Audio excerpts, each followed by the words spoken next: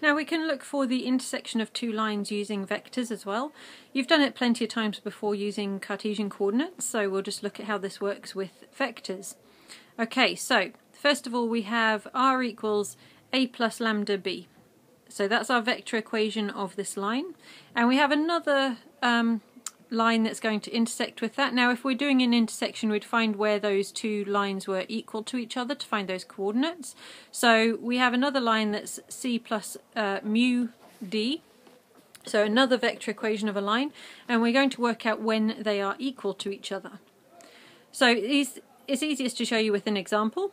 We're going to find the point of intersection of these two lines. Now note that I'm using lambda and mu as the, the two separate things on the two separate lines so we don't get confused. Okay, so if we look at the top line here, we have to work out when 1 minus 2 lambda is equal to 0 plus mu. So just taking the top line of each of those uh, vector equations then we also look at the next line, 3 minus lambda equals minus 2 minus mu. Now we've got two simultaneous equations and two unknowns, so we can solve from here. So if we rearrange each of those equations into a, a more useful form, and then we'll call them equation 1 and 2, and we're going to solve these simultaneously. So we get lambda equals 2 and mu equals minus 3.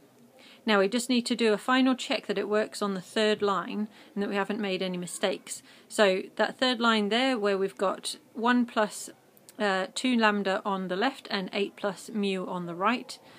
And if we put in our values, we've got lambda is 2, that gives us 5 on the left. And mu being minus 3, that gives us 5 on the right. So yes, it does work. And we have found our values of lambda and mu. So now put that into one of those equations so that we can actually find the point of intersection. Make sure you do finish off this equation, sorry, this question to, to find that those uh, points and not just stop there at having found lambda and mu. Doesn't matter which of the equations you put it into. Uh, I've chosen the first one and we're using lambda equals 2. So if we work that out we get minus 315 as our point of intersection. Okay, another example.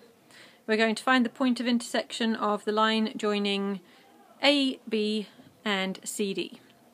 Okay, so AB looks like this. So first of all we need to set up our vector equations.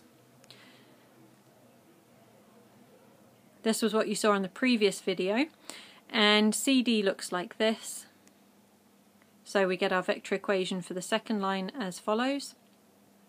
Okay, now we can carry on with uh, looking at those each line of those equations and setting them equal to each other so that we can get our simultaneous equations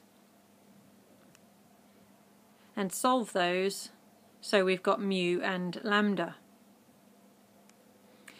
Then we need to check on the third line that it still works and it does. We've got we end up with 4 equals 4 so that's fine, it's all correct.